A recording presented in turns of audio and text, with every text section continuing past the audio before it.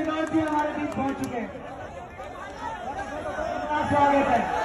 भाई, अगर आप लोग उठोगे तो मैं इनको बुलवाऊँगा नहीं आप अगर सच में इनकी रेस्पेक्ट करते हो तो कोई भी भाई, अगर असली मेवाती है, जिसके अंदर मेवाती का गुण है, अपनी जगह पे बैठा रहेगा। और बाकी दंगा है तो भाई खड़ा हो जाए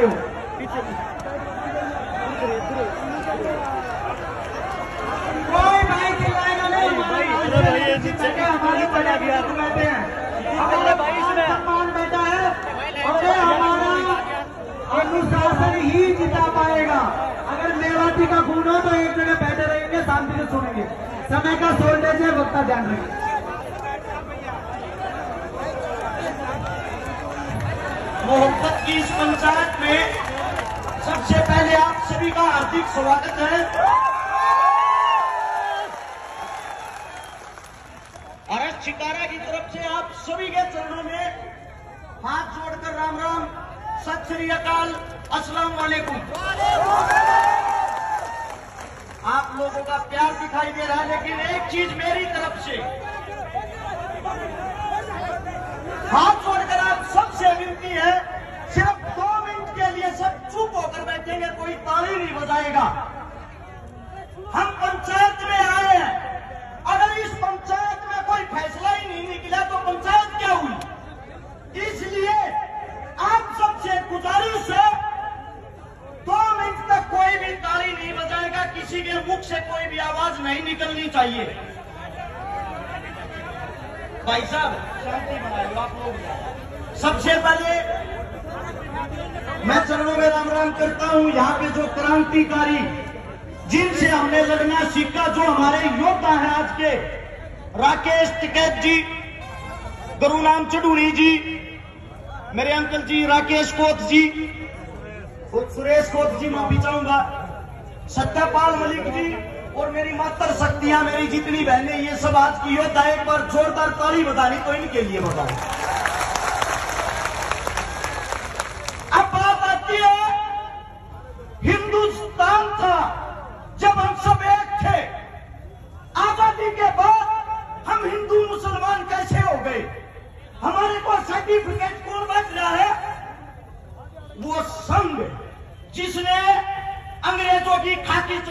पहननी शुरू की। खाकी चड्डी पहनकर वो संघ हमारे को सर्टिफिकेट दे रहा कि तू हिंदुस्तानी है, तू हिंदू है, तू मुसलमान है। मैं एक बात कहता हूँ, अगर किसी के पास हो, इस महफिल के अंदर, अगर संघ के अंदर किसी ने कोई कुर्बानी दी हो, संघ वाले किसी आदमी ने आज़ादी के लिए कहीं खून पाया हो, उसका नाम मुझे बताना, अपने ऑफ़िस में फ़ोटो लगवाऊँगा एक आदमी ढूंढ के बता संघ तो वो बड़ा नंग है जिसने हमारे को अलग कर दिया। अब बात आती है नू मेवात और मेवातियों की। मेवाती लोग मेव कौन है? सबसे पहले हिंदुस्तान की जो गिनती हुई जनसंख्या की, उन्नीस सौ इकहत्तर और बहत्तर में, उस टाइम आप लोगों की गिनती करी गई हिंदुओं में। 1901 में दोबारा से गिनती हुई लोगों को अंग्रेज़ों ने बोल दिया, भैया, आप हिंदू नहीं हो, आप तो मुसलमान हो। इनकी गिनती कर दी मुसलमानों में। फिर 1926 के दौरान 25 और 26 के दौरान इन पर ठप्पा लगा दिया कि आप सब मॉडर्न हैं। भाई साहब, मैं उठा दूँगा नच्चू बैठ जाओ, नीचे बैठो। शांति बना लो यार, कमाल कर रहे हो, अपने आदमी प्रोग्राम बिगाड़ोगे। हाथ जोड़कर विनती, आवाज़ नहीं आनी चाहिए। आप सभी से विनती है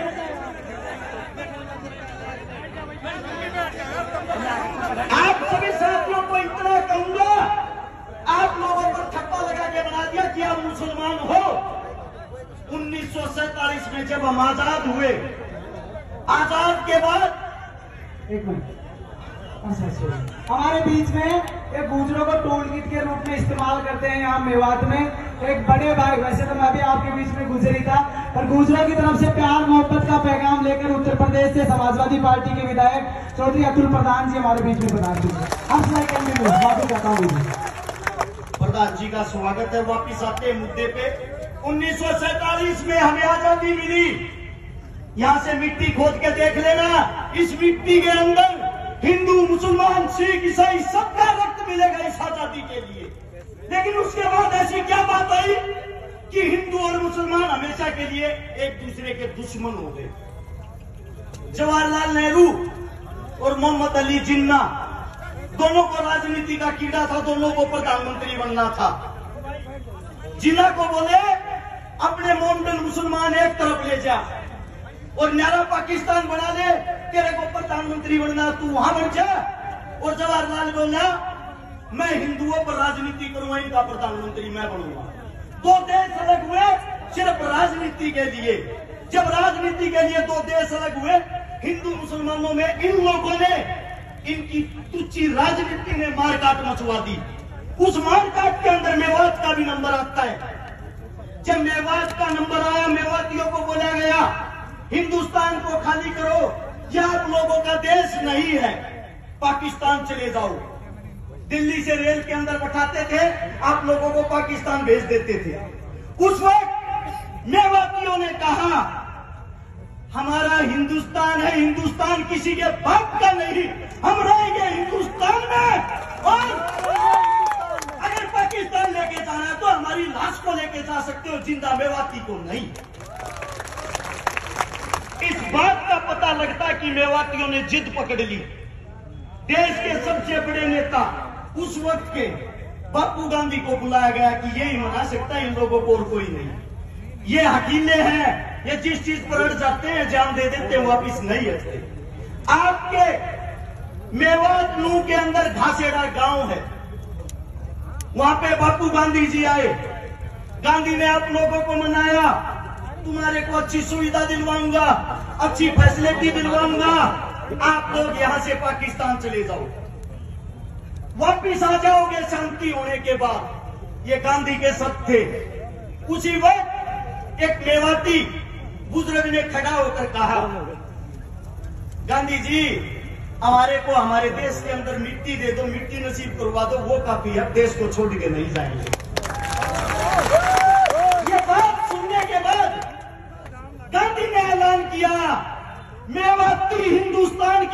की रीढ़ है और मेवाती यही रहेगा।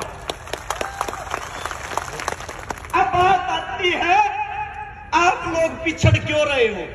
मेवात की खबर पढ़ के देखते हो कभी? हमारी साइड जो अखबार आता है, टीवी आता है, उसमें दिखाया जाता है मेवात मिनी पाकिस्तान है। मेवात के अंदर तो बलात्कार होते हैं। मेवात के अंदर आदमियों को काटा जाता है। हमारी नई यूथ, युवा पीढ़ी, उस अखबार को पढ़ती है कच्छेदारियों की बातें सच मान के उस पर अमल करती है। उनको यह दिखाई नहीं देता इस देश को जो हाल में चला रहा है, सरकार चलाने वाला, जिसका नाम है नरेंद्र मोदी, भारत देश का प्रधानमंत्री, जिसकी जो जाति की अगर बात आती है, जिस जाति में उसने जन्म लिया, मैं मोदी साहब से पूछना चाहता हूँ, मोदी साहब आप खुल के सबके सामने क्यों नहीं बताते आपकी जाति क्या है? आपने किस जाति में जन्म लिया है? तेली जाति में और तेली जाति उन्नीस सौ सैतालीस से पहले मुसलमानों के अंदर आती थी। सैतालीस के बाद उन्होंने हिंदू धर्म में कन्वर्ट किया। अरे आप देश के मुस्लिम परिवार में पैदा होकर या हिंदू मुसलमान करवा कर हमारे को मरवाना चाहते हो? अब बात आती है कमी की। कमी कहा है सिस्टम में? कमी है आप लोगों के अंदर। कमी है हमारे अंदर। वो कमी क्या है? भगत सिंह राजगुरु सुखदेव। लाहौर जेल के अंदर जब फांसी तोड़े जा रहे थे, उसके बाहर, जेल के बाहर लाखों आदमियों की भीड़ थी। सब उनको क्रांतिकारी मानते थे, सब उनको देशभक्त मानते थे। वे लाखों आदमी बाहर चिल्ला रहे थे, इनकलाब जिंदाबाद, भगत सिंह जिंदाबाद। लेकिन एक भी आदमी के अंदर इंसानियत नहीं थी। वहाँ जितने बाहर खड़े थे, हिंदू, मुस्लिम, सिख, ईसाई खड़े थे, हिंदुस्तानी कोई नहीं खड़ा था। अगर वहाँ हिंदुस्तानी खड़ा होता, उन सब की ताकत एक होती, वे लाखों आदमी उस जेल की एक एक ईट उखाड़ते, जेल का नामो निशान नहीं मिल- मिलता। और आज भगत सिंह, राजगुरु सुखदेव तुम्हारे बीच ज़िंदा होते। वही हालात आज है। आप लोगों के लिए जब हम बोलते हैं, बोलने से पहले तो हर्ष सितारा सबका बोलने के बाद बात आती है तो जात जाति से है। और जात जात हिंदू थे ही नहीं।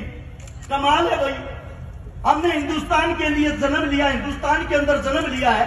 हमारे बुज़ुर्ग हमारे सामने बैठे हमारे का कहता हूँ, ये रोज लठ, रोड़ा पर जब लठ खावे हैं, इनको बोलते हैं, ये तो देश द्रोही है। मैं पूछना चाहता हूँ, जब बॉर्डर पर कोई बेटा, कोई बच्चा शहीद होता है आप लोगों ने उसकी जाति क्यों नहीं दिखाती? आज तक क्या किसी गुजराती बाबू ने सरहद के ऊपर लड़ाई लड़ी है? आज तक क्या किसी गुजराती बाबू ने हिंदुस्तान के लिए शहीदी दी है?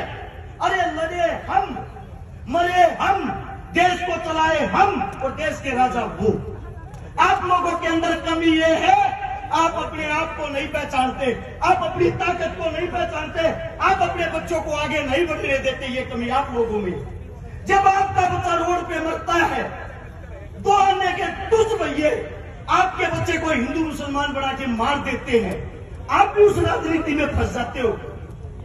आप लोगों के अंदर ताकत नहीं है क्या? आप अपने खून को भूल गए क्या? या धमकियों से डरने वाले हो? अगर धमकियों की बात करो। मेरी औरत जब मैं घर से निकलता हूँ, ये कहती है, पता नहीं, वापिस आएगा या नहीं? मेरी औरत, जिसके साथ मेरी शादी हो रही है उसके पेट में, उसके पेट में दूसरा बच्चा है। मेरे को यह भी यकीन नहीं है मैं उसका मुँह देख पाऊँगा या नहीं। जिस दिन से नू मेवात के ऊपर मैं बोला, मैंने शुरुआत की ऐसी ऐसी धमकी, ऐसे ऐसे आदमियों की। सुबह मार देंगे, शाम मार देंगे, फिर भी मैं एक बात कहता हूँ, इस सरकार को, समय तुम्हारा, राज तुम्हारा हिम्मत है तो मार लेना। अगर मेरे बुज़ुर्ग जाग गए, इनका समय आ गया। इन लोगों ने हमारे को ताकत दे दी, हम भागने का मौका नहीं देंगे। फैसला आप लोगों ने करना है। अरे, इस देश का राजा किसान होता है, किसान। इस देश को संभालने वाला किसान का बेटा जवान होता है। और आप लोग अपनी ताकत भूलकर, हिंदू, मुस्लिम जाट ब्राह्मण में फंसकर उन लोगों के बहकावे में आए हुए हो। चारों तरफ़ से धरती माप लेना। हर सात किलोमीटर पर एक मंदिर मिलेगा। हर बारह किलोमीटर पर एक मस्जिद मिलेगी। हर पाँच किलोमीटर पर पीर बाबा मिलेगा। मैं आप सभी साथियों से एक बात पूछना चाहता हूँ। सच बताना, दिल से बताना, क्या एक भी हिंदुस्तान का राजा, शिक्षा, स्वास्थ्य, रोज़गार पढ़ाई लिखाई की बातें करता है। ज़रूरत ही नहीं, क्योंकि उनको मज़ा आ गया है। हिंदू, मुस्लिम, उनकी खुराक हो गई है। आप लोगों को लड़ाओ, कुर्सी पाओ और फिर आप लोग भाड़ में जाओ। अरे आप लोग कब जागोगे? मैं आप लोगों से सिर्फ़ एक बात कहना चाहता हूँ। अगर आप लोग इस मेवात की पंचायत को बिना किसी निरीक्षण के वापिस अपने घर चले जाते हो आपके बेटे, आपके उन बच्चों की उम्मीदें टूट जाएँगी जो आज हमको धमकियाँ देते हैं। उनकी धमकियाँ सच हो जाएँगी और आप लोगों में एक कमी है। जब आप लोगों की कोई लड़ाई लड़ता है, उस वक्त तो आप टांग खींचते हो। और जब आपका बेटा, आपका बच्चा मर जाता है, तब उसकी आप मूर्तियाँ बनाते फिरते हो। अरे जीते जी अपने का हाथ पकड़ के क्यों नहीं खींचते? टांग पकड़ना छोड़ के। मैं, सभी साथियों से यह कहता हूँ, जो भी मोदी जी बोले वो बातें मुद्दे की करे, हिंदू मुसलमान की करे नू मेवाद की करे, ताकि सरकार को पता लग जाए, जो आप भगाने वाली कला सीख रहे हो, वो अब नहीं चलेगी आप लोगों की। और एक नारा जोरदार, हम सब एक हैं। मैं बोलूँगा, हम सब आप लोग बोलोगे, एक हैं। पता लगना चाहिए कुर्सी के ठेकेदारों को। चलो आप कुर्सी पे बैठ नहीं सकते उस कुर्सी को हिलाने की हिम्मत तो रखो।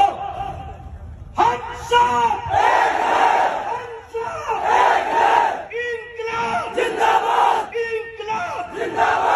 कोई मेरे मुख से गलत शब्द गलत बात निकली आपका बच्चा, आपका बेटा, हूँ। हाथ जोड़ के आपके चरणों में माफ़ी चाहता हूँ।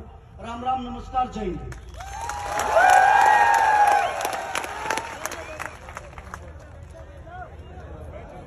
जी बहुत बहुत धन्यवाद आदरणीय राजा राम जी